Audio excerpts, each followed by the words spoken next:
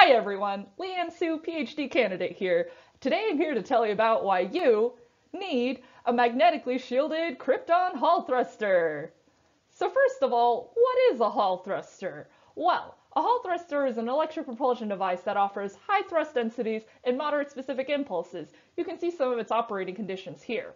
Hall thrusters have also been greatly improved in the past few years by the advent of magnetic shielding. So magnetic shielding reshapes the magnetic field topologies inside these devices that uh, that basically eliminates ring erosion and greatly improves their lifetimes. So you might be asking me, what's there even left to do on Hall thrusters? Well, one thing we can look at is improving the propellant choice. Xenon is usually used on Hall thrusters because of its high thrust to powers and because of its high efficiencies. But Xenon is very expensive. A two-week test on the X3, a 100 kilowatt class Hall thruster, uh, cost $150,000, at which point you might as well be burning money. So consider instead Krypton. Krypton is up to 10 times cheaper and offers better specific impulses. However, we've also seen that Krypton has poor efficiencies on magnetically shielded thrusters, as you can see in this plot here. So our next question is then, why is it bad?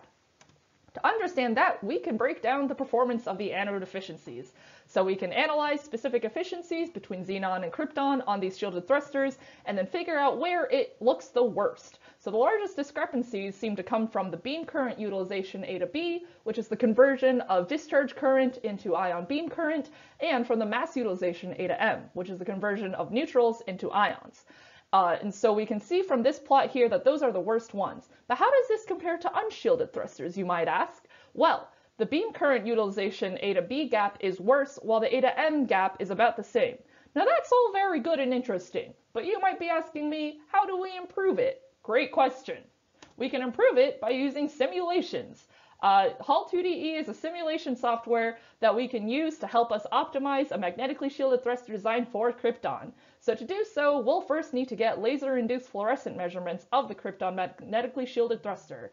Uh, to do that, we'll need a new laser system, but it'll give us the ion velocities along center line, which we can then use in our optimization uh, simulations to get a better idea of how to design a new thruster. Maybe it'll mean longer channels. Maybe it'll mean a different magnetic field topology. But in the end, we're going to build that thruster. So for redacted payments of redacted dollars, this technology could be yours. Get yours today. Today!